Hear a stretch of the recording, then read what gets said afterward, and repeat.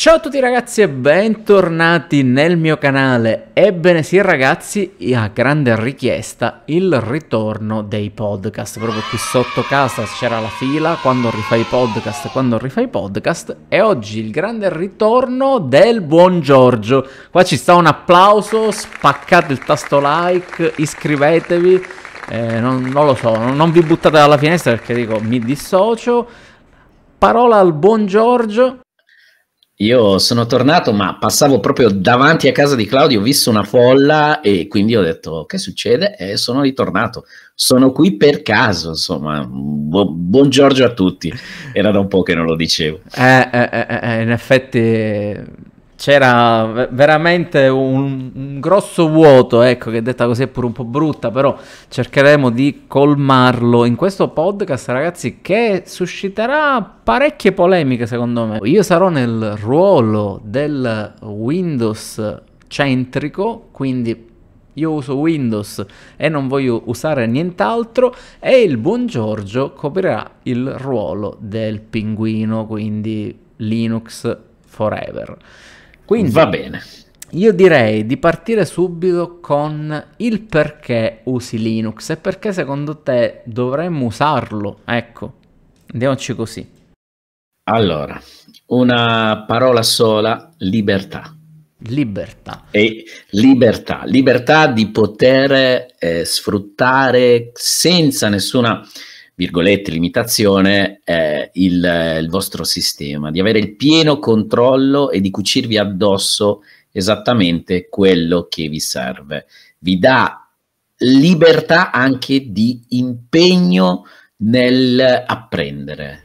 Ecco, Quindi, e io subito ti rispondo perché è un po' una partita di ping pong, rimandando okay. la palla nel tuo campo con io non mi sento oh, oppresso da Windows, perché sento dire sempre "Ah, ma Windows ti viene imposto nel computer".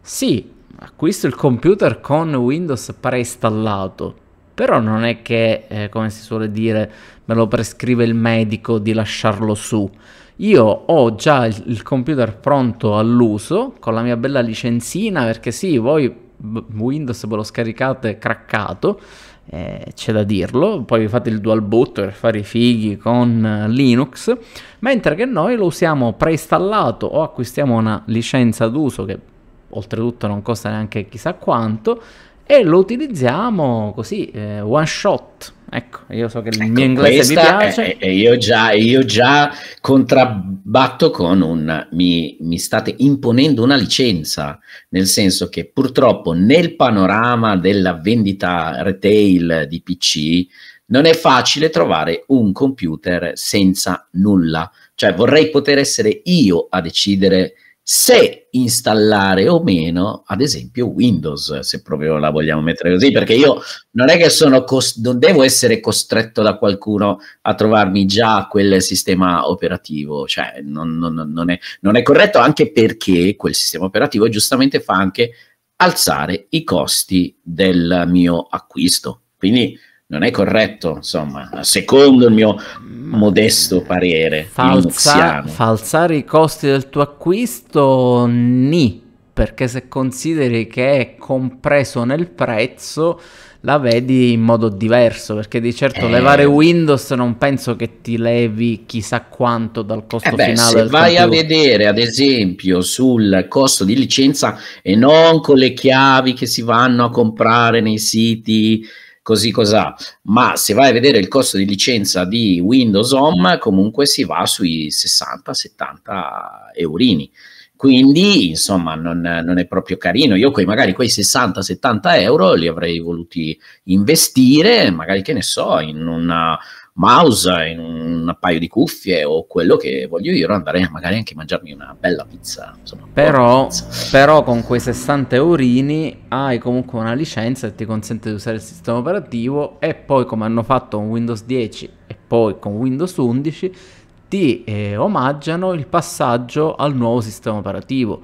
Altro esempio, uh, Linux su Zorin OS c'è la versione a pagamento 40 euro per offrirti dell'assistenza.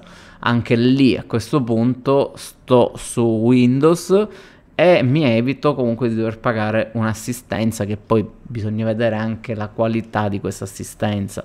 Perché eh sì, ma quello ovviamente bisogna anche considerare che eh, come anche Microsoft, ricordiamo, si è mosso in una direzione, ovvero quella di venderti un, eh, appunto un'assistenza, un prodotto non inteso come tanto sistema operativo, ma come il contesto che c'è, c'è intorno, i servizi.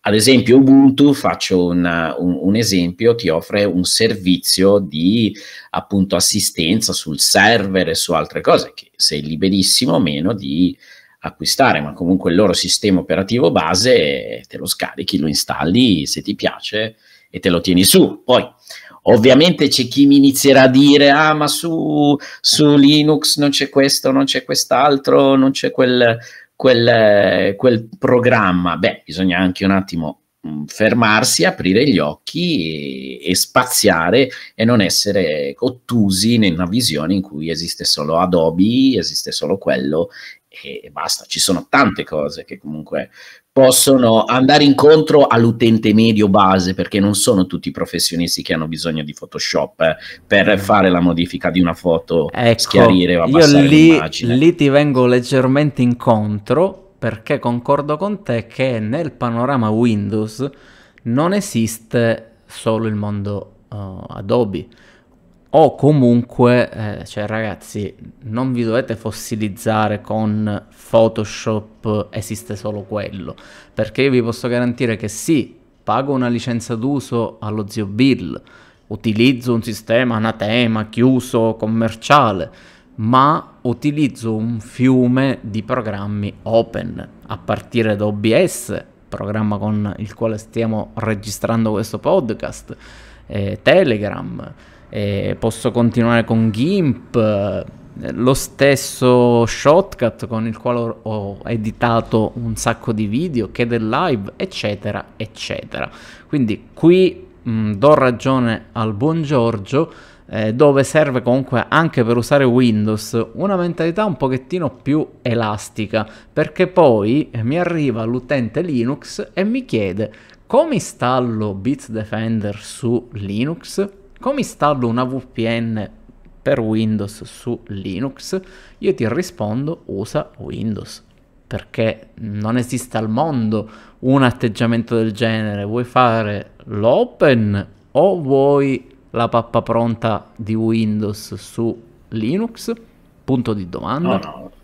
Su questo ti posso dare, posso anche darti ragione, nel senso che comunque sia, bisognerebbe imparare a capire, a studiare quello che si sta utilizzando. Nel senso, non è che usare Linux fa figo e per, perché eh, si vuole no, fare no, perché... il, il, nerd di turno, Bravo, lo scienziato. Nel senso. Io, io, io parlo da utente Linux da ormai quasi vent'anni, quindi posso dirmi abbastanza navigato in, e ho sbattuto in tanti tanti problemi. Io ho cominciato ad usare Linux che non riuscivo a fare andare il modem ADSL perché non c'erano i driver, ti, ti, ti, ti faccio un esempio, quindi comunque sia ho imparato a capire e a studiarlo questo sistema operativo. Ne ho provati tanti, mi sono sempre scontrato con un problema. Ma io sono fatto non si sente? Abbiamo perso il buon Giorgio, ma lo richiamiamo subito.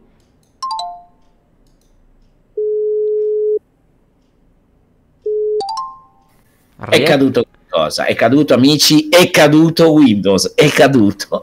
No, è caduto Windows, no, è il tuo Linux che non ha retto no, io... la, la qualità. Ma quando mai che io sono sempre qua che ti aspetto aspetto, mi si voleva zittire, mi si voleva eh, tarpare, eh, sì, sì, sì, mettere un bavaglio, un bavaglio. I poteri forti contro... I poteri forti. Comunque stavo per dirti il discorso sì. di eh, anch'io ho combattuto con i driver perché all'inizio non c'erano, eccetera. Questo volendo avveniva anche nelle prime versioni di Windows. Però io ho i produttori che mi producono l'hardware e i relativi driver compatibili già con il mio sistema che vado a utilizzare. Io stesso insieme a te abbiamo eh, implementato l'uso dello Stream Deck su Arch dove ragazzi non è proprio semplice, quindi il sottoscritto sta facendo la parte del Windows centrico, ma il mondo Linux lo conosce, non dico da vent'anni come il buon Giorgio, però dalle prime versioni che vendevano in edicola di Ubuntu. Ovviamente, ovviamente noi stavamo recitando una parte, eh? io non sono esatto. un fanboy, volevamo farvi ah. entrare nel, nell'ottica di, di quanto si può essere veramente virgolette ottusi e non avere un'apertura mentale, quindi bravo, fossilizzarsi bravo. solo su un punto di vista quando in realtà non è così. Io nell'altra, nell'altra partizione ho comunque Windows perché per carità e come dicevi giustamente tu, io quella licenza ce l'ho, Windows ce l'ho e mi piace tenermi anche informato sul panorama complessivo di quello che è il, il mondo del tech, dell'informatica, eh. del sistema no, operativo. Quindi... Per esempio, di recente, vi invito a seguirmi su Instagram se ancora non l'avete fatto, angolo di Claudio, ho pubblicato una fotografia che ora poi metterò all'interno di questo podcast, lo so, è un podcast, però ci metto eh, questa foto, dove mostravo la cronologia dei miei aggiornamenti di Windows, perché sento ah, in vari gruppi visto. Telegram Ah, ancora aggiornamenti, mamma mia, ma quanti aggiornamenti fa Windows? Nello specifico Windows 11, mm, ma ho usato anche il, il 10, il 7, eccetera. Ora, nelle vecchie versioni vi posso dare ragione, in effetti c'erano parecchi aggiornamenti fino a che poi ricevevi semplicemente quelli di sicurezza. Eh, uso Windows 11 praticamente dal primo rilascio di Microsoft sul sito ufficiale. Ora già non mi ricordo da quanti mesi, ma eh, si sa, può dire da inizio anno, contestualmente sì. con l'acquisto del nuovo computer. Eh, ragazzi, come potete vedere nella foto, ci sono mh, da febbraio a maggio, sì e no, tre aggiornamenti ogni mese. Per giunta alcuni di questi sono piccoli aggiornamenti dovuti a Windows Defender, l'antivirus integrato da Windows 7, credo che ci sia. Quindi neanche me ne accorgo che li scarica. Gli aggiornamenti un poco più pesanti che richiedono un riavvio, finalmente, sono stati resi discreti. Cioè, quando io vado a spegnere il computer mi dice guarda, dovrei fare questa cosa, vuoi che spengo e aggiorno, vuoi che aggiorno e riavvio? Quindi tutto sommato io neanche me ne accorgo di questi aggiornamenti. Ora di recente di nuovo la polemica, ah Windows merda, eh, troppi aggiornamenti, Linux bellissimo, bla bla bla. Per ora stiamo andando in controtendenza perché ho visto diverse distro che ti dicono devo riavviare, ho scaricato l'aggiornamento e lì cioè io dico ah, sono su Windows o su Linux perché notoriamente Linux bene o male aggiorni poi sì, vabbè, se vuoi fare il riavvio, male non ne fa, però andava tranquillo. Ora. Ma io, io, ho una mia visione sulla questione degli aggiornamenti che secondo me trovo una polemica scusatemi, ma stupida, nel senso che, ma ben vengano che ci siano gli aggiornamenti, cioè nel senso quando sono migliorativi, ovviamente abbiamo fatto anche una chiacchierata ai tempi con Claudio che ci sono degli aggiornamenti che portano le versioni a essere peggiorate, discorso con che avevamo fatto con Olive, ad esempio. Però, in, in, tolto, tolto, tolto, quelle situazioni lì, secondo me, un po', un po' astruse, poi ovviamente abbiamo cambiato anche il pensiero, perché giustamente un programma riscritto da zero ha le sue problematiche. E secondo me l'aggiornamento di per sé, se è un aggiornamento che va a correggere, limare, migliorare un programma, ma ben venga che ci siano. Io ad esempio ho qua il mio telefono, il mio Oppo Reno 2, che non sarà più aggiornato e a me sta cosa fa incazzare, nel senso che è un prodotto che, ahimè, eh, una, a parte gli aggiornamenti di sicurezza, non vedrà più tutte quelle migliorie che comunque questo benedetto telefono potrebbe tranquillamente supportare perché comunque ha una scheda eh, tecnica di tutto rispetto. Sì. Per quanto riguarda il mondo Linux e Windows, eh, io ritengo che gli aggiornamenti siano essenziali e il fatto che li propongano e che comunque sia ci sono e li si facciano, vuol dire che c'è dietro un team che sta comunque lavorando per migliorare il proprio prodotto. E infatti io comunque Windows 11, che comunque sto testando, lo sto testando perché ci sono delle, delle, introdu- delle, delle, sì, delle cose che hanno introdotto che comunque non mi dispiacciono, ho l'ho visto migliorare nel corso di questi, di questi mesi dal, dall'inizio della, del rilascio. E, e per quanto riguarda invece Linux, eh, adoro il fatto che sia un continuo divenire, cioè nel senso io sono su Arch, quindi è, una, è un aggiornamento continuo, quindi è un po' rischioso, non lo consiglio a tutti l'utilizzo di Arch, consiglio un LTS di qualsiasi cosa, sono io che sono un pazzo, virgolette, e mi piace comunque avere un sistema con continui, continui rilasci. E quindi onestamente trovo la polemica un po' un po' strana, non, non riesco a, cap- a, capirla, cioè qua, del riavvio, qual è il problema?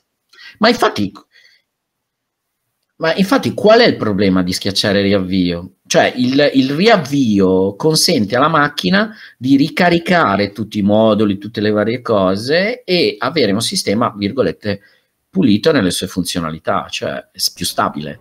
Cioè, no, non capisco eh, quale problematica ora di, c'è. Di recente tu l'hai seguito e vissuto in prima persona. I driver Nvidia eh, che eh, sembra un passo avanti. Ecco, ho visto anche il, il, video sì, di Morro Linux. Eh, dove poi eh, ho dovuto fare una sorta di il passettino indietro esatto di secondo video diceva ah, mm, mi ero tra virgolette illuso mh, mm, non è tutto oro quello che luccica eh, ricordiamoci innanzitutto che Nvidia dico, è un'azienda che è lì per fatturare. Ecco, questo esatto. lo, lo, dicevo l'altro giorno in privato nel nostro gruppetto Telegram. Cioè, sì, senza sì, ombra sì. di dubbio, dico, Nvidia è lì per fatturare. Il discorso dell'open, anzi, devo dire, lo stanno coltivando parecchio. Complice Porca Steam, complice che comunque il gaming sta crescendo su Linux e quindi c'è tutto l'interesse per avere dei driver veramente prestanti. Però esatto. dico, non possiamo aspettarci un'apertura totale. C'è anche la stessa Microsoft che eh, vuole abbracciare l'open eh, entrando nella Linux GitHub per Esa- dire. Esatto. Dico, ricordiamoci, sono mosse commerciali per comunque dei fini brutti. Mamma mia, vogliono fatturare. Eh, eh, è quello che fa l'azienda, cioè, cioè un'azienda eh... deve fare soldi, ma anche con uh, l'open source li si fa, non si sì, creda che comunque infatti... Linux non, non, con Linux non si guadagni, quasi la maggioranza dei server sono basati su, su Linux.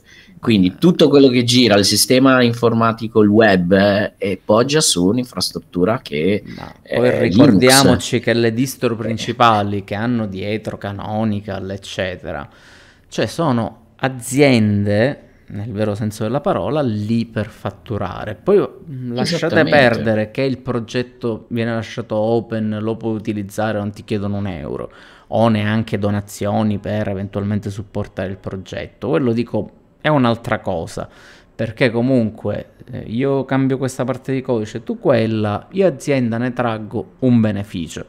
Eh, però un discorso dove tutti mm, solitamente mi danno ragione è la benedetta dispersione delle forze nel mondo Linux, perché ecco. io da grande appassionato del mondo Linux, scusatemi se ve lo dico, mi sono rotto le scatole di starci dietro perché sceglievo che ne so Linux Mint, ah questa sarà la mia distro, bellissima, mi ricordo quella 18.04 che per me era, eh, anzi 14, 14.04 che per me era fantastica, o la 17 qualcosa, ora non ci penso, comunque erano tutte e due veramente ben fatte, dopodiché salto di versione, questo non va più, mm. mi registra scatti, cioè eh, dobbiamo entrare eh, sì. nell'ottica di chi usa il computer per realizzare contenuti qui su YouTube per lavorarci eh, privatamente con aziende, tech developer, eccetera, per uh, l'uso proprio giornaliero, uh, email, e- eccetera, io non posso dover risolvere ogni volta problemi che magari problema, non avevo esatto. sulla vecchia LTS perché si è aggiornato il kernel, la mia scheda non è più tanto compatibile, poi per carità ci sarà il mandrake di turno nei commenti, eh ma perché non sai smanettare? Si fa così. Eh sì, sì, no, cioè, secondo me la, il tutto deve nascere basando, partendo da un ragionamento base. Che cosa mi serve? Che cosa devo farci con il computer? E partendo da quel presupposto e partendo anche da quelle che sono le tue capacità, la tua voglia anche di cimentarti con, con il sistema operativo, eh, allora fai una scelta. Nel senso, nella stragrande maggioranza eh, delle volte le persone hanno bisogno di un sistema che funzioni con un eh, sistema che di, ti permette di elaborare i testi, quindi Office o, o le alternative, o LibreOffice, LibreOffice o quello che c'è. Consultare il web, ascoltare un po' di musica, guardarsi un video, stampare attaccando una stampante e modificare due foto, cioè questo è l'uso medio che secondo me le persone ne fanno. E in questo caso secondo me se le persone avessero una distro Linux, io ovviamente spingo su quello, semplice, eh, utilizzando programmi come Chrome, eh, che ne so, il, un gestore di posta, un, un, qualcosa che ti faccia un ritocco facile veloce a due foto e altre due robe, che tu sia su Windows, che tu sia su Linux, onestamente non cambia niente. In questo caso ti direi per questo uso usa Linux e risparmiati i costi di una licenza. Ma... Quando invece si tratta del professionista che deve avere, ad esempio, faccio un esempio, il videomaker, già lì ti girano le balle, almeno parlando così da appassionato Linux, perché devo vedere un programma come DaVinci Resolve o Resolve. Che, che ah, no, vabbè, poi in descrizione ci diranno come si scrive, si dice. Esatto, esatto. Quando vedo lo stesso programma distribuito per Linux, distribuito per Windows quando eh, tu decidi di comprarti anche la licenza e lo usi su Linux e lo usi su Windows, vedi che su Linux comunque è zoppato e su Windows funziona meglio, a me da utente Linux girano le balle, ma da persona con una minimamente concezione delle cose e buon senso ti dico installati Windows e usalo su Windows. Eh, ma che perché poi... comunque non puoi fare altrimenti perché sennò ti azzoppi il lavoro sì, sì, se ma, sei un professionista. Ma poi questo l'hai, tu l'hai vissuto in prima persona con me.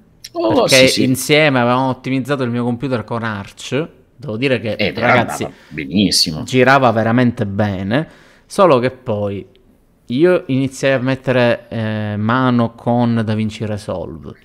Sotto il mio consiglio, tra le altre cose. Eh, esatto, sotto tuo consiglio. per fortuna aggiungo, perché sennò dico un pelo ti saresti incazzato. Eh, lì appunto esperienza super castrante, perché comunque eh. io avevo tutte le clip in MP4 e doverle convertire tutte, che poi per carità dico, volendo era fattibile, però poi sì, tutte quelle nuove che ti scarichi o comunque ti passano molto probabilmente saranno in MP4 e quindi stai lì a riconvertirle. È tempo, è tempo. È tempo e, che e poi... Il tempo mm, è denaro, il tempo eh. sono soldi, è il più grande, è la più grande moneta che hai da spendere. Sì. E anche eh, se hai 25 video da lavorare, se devi convertire 25 video e sono 5 minuti a video, eh. sommali tutti, sono ore che perdi di lavoro e di soldi. Sì, eh, e poi oltretutto, questo purtroppo. Tolto questo discorso di Da Vinci che era bypassabile, eh, andai incontro anche al problema driver Nvidia, perché ai tempi avevo una GT 730, eh, mi ricordo. neanche chissà quale scheda, e avevo difficoltà perché comunque i driver nuovi ogni volta eh, si è bloccato il boot perché non li vede eh sì. e scrivi perché questo. non ricompilava il modulo esatto, esatto, quello è un problema che c'è adesso dovrebbe essere risolto con questa pseudo introduzione mm. nell'open sicur- di sicuramente il Linux fanboy eh, nei commenti mi dirà vabbè pure tu eh, anziché usare Arch installati una Ubuntu che è pronta all'uso, bellissima, eh, scrocchiarella e tutto. Io aggiungo che con Ubuntu avrei avuto ancora più problemi, ma anche con Molto Linux probabile. Mint, perché comunque ne abbiamo provate veramente diverse. Eh, anche i video che vedete nel canale, cioè non è che li provo semplicemente su VirtualBox. Moltissime no, le ho provate usate su PC, eh, su PC direttamente in real hardware. Così eh, dico, abbiamo Madonna. detto l'altra, l'altra cagata in sono... inglese. Mi sono emozionato. Eh, esatto, dimmelo con la voce calda e così mi emoziono pure io. Eh, però dico, eh, arrivato a un certo punto, come ha detto Giorgio, il tempo è denaro ho preso la decisione, ho detto guarda, mh, mm, formattiamo tutto, che sì vuol dire cancellare i dati, perché ho sentito anche una stronzata del genere, quindi mi cancelli i dati, sì, formattare è quello, cancellare i dati. L'altro giorno ho letto questo messaggio nel gruppo e sono morto alle risate, però le persone dicono anche questo. Allora aggiungo un po', Guarda, la prossima volta facciamo un, per tu che ci punterai il dito, faremo una formattazione a basso livello, ok? Eh, eh, eh, eh vabbè, io non, non, sono neanche laureato, quindi non, non so che cosa hai detto, basso livello. Buh, non, questa è una semi-cheat. Ecco, io nel frattempo rompo il microfono e, e quindi eh, ritornai appunto a Windows 10 che poi ho aggiornato a 11.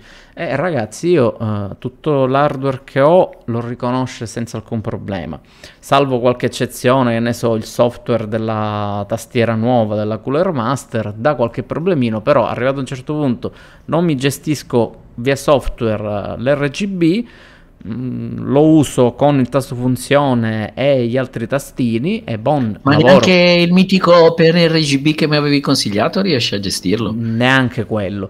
Quindi eh, cioè, però per dirvi non è una cosa che mi condiziona il lavoro. Cioè non me ne frega niente se la tastiera è arancione piuttosto che arcobaleno. Sì. ecco. E sentirmi dire anche ah ma Windows è un continuo problema. Ragazzi io mm, l'ho installato a gennaio siamo a maggio eh, ho avuto mezza schermata blu dovuta dal fatto che ho uso una scheda di rete un po' vecchiotta. Ho trovato un sito insieme al signor Dennis dove c'era il driver aggiornato mm. per Windows 10. L'abbiamo installato in due clic, ci ho dedicato anche un video sul come identificare l'errore della schermata blu. Dico ogni tanto guardate i video che male Dico, non fa. Sì, sì, sì, sì esatto. E, e abbiamo risolto il problema. Cioè, ci ho messo neanche 5 minuti scarica no, il driver, infatti. installa e via. Che Quindi, poi, eh, ovviamente, che tu sia su Windows, che su, tu sia su Linux, un problema, bene o male, lo trovi. Quello che eh, certo. potrebbe capitare, l'importante è avere quell'apertura mentale che ti permette di cercare una soluzione. Ed Ma... è per quello che io ritorno al mio. È bene conoscere un po' tutto e poi basandosi sui propri gusti, sulle proprie attitudini, su quello che ti serve, fare una scelta libera. Ma poi soprattutto fare una scelta libera appunto, non vuol dire o solo Linux o solo Windows. Bravo. Cioè, Volendo tirare le somme di questo podcast, oh, perché vedo che siamo quasi sui 30 minuti. Cioè, vi cambia la vita, mi cambia la vita sapere che il buon Giorgio usa Linux piuttosto che Windows o che Claudio ah, parla di Open e poi alla fine c'è Windows. Io non credo proprio. Quindi, no, con questa considerazione, io vi dico, vi trovate bene con Linux? Benissimo, però non venite a scrivere o comunque a chiedere a chi che sia come installo Adobe Photoshop o Adobe Photoshop, come lo volete chiamare lo chiamate, su Linux, perché sia io che chiunque altro con un po' di sale in zucca vi dirà usatelo su Windows, usalo su sì, Mac. Al momento, al momento sì, cioè fino a quando i produttori non decideranno di rilasciare eh, il, il, programma su anche Linux, eh, ovviamente certo ci sono le modalità per fare delle cose anche su, su, su, Linux per utilizzare per dire giochi e quant'altro, ma il panorama game secondo me è un capitolo a parte. Sì, lì capitolo a parte. meriterebbe veramente un video mm, dedicato perché dedicato, sì, comunque sì, sì, è un argomento molto uh, vasto e soprattutto vasto e... se lo fai lo devi fare bene, diversamente... Sì, ormai credo che cioè... il mondo game, Linux, Windows, quel che le, si, è, si è proprio unificato, si sta praticamente andando a, a sovrapporre, perché giocare su Linux e giocare su Windows ormai stanno diventando praticamente la stessa, la stessa identica cosa ormai inizia davvero ad esserci, a non esserci più differenza. Qui. Però invece per quanto riguarda davvero la questione dei programmi professionali, come può essere un, una suite Microsoft Office o un uh, Adobe, tutto il suo pacchetto, eccetera, eccetera, io in quel caso consiglio sempre di utilizzarlo là dove è pensato per essere usato, quindi su Windows o su Mac eh, o così via capito la parte Da Vinci che mi girano le balle a pensiero. Vabbè, ma lì siamo, siamo, sempre lì, è dovuto anche da molti codec che asseriscono che non possono mettere su Linux perché licenziano. Ed è quello, che mi fa, è, è quello che mi fa incavolare, perché non è vero, perché loro utilizzano la libreria F, e, e utilizzano FFmpeg per quanto riguarda il, il, la conversione eccetera eccetera dei, dei, dei, video. Lo usano anche mi sembra su, su Windows e quindi non capisco perché non, non abbiano compilato Vabbè, FFmpeg su Linux questi, con tutti i code come ha fatto su Windows secondo me sono una grandissima cagata quello che dico sono secondo i misteri me. di Blackmagic poi magari un giorno mi contatteranno sì. i signori di Blackmagic chiedendo una collaborazione, cioè mai, e eh, mi diranno guarda noi non li mettiamo per questo motivo. Eh, Però boh. io voglio ringraziare il buon Giorgio innanzitutto per oh. il ritorno nel canale. Perché, Scusate ragazzi... se mi incendio perché c'è, c'è questa vena polemica e passionale che mi parte.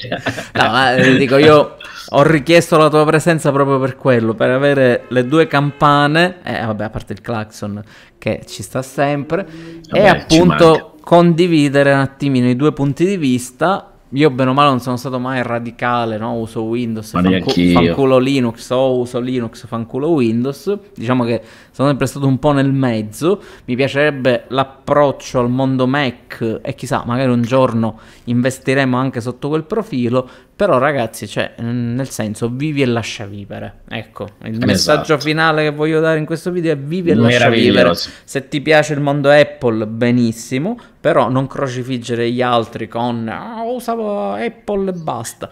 Eh, no. L'estremismo è eh, sempre una brutta cosa, essere estremisti in qualsiasi situazione, campo della vita, lavorativa, morale, eccetera, eccetera, è sempre, è sempre una brutta cosa. Lo dicevano gli antichi che nel mezzo sta il giusto e secondo me tanto torto non avevano, insomma. Esatto, quindi concludiamo con la verità ci renderà liberi.